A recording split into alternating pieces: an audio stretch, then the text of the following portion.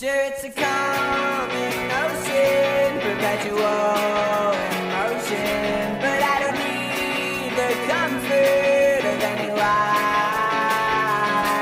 I've seen the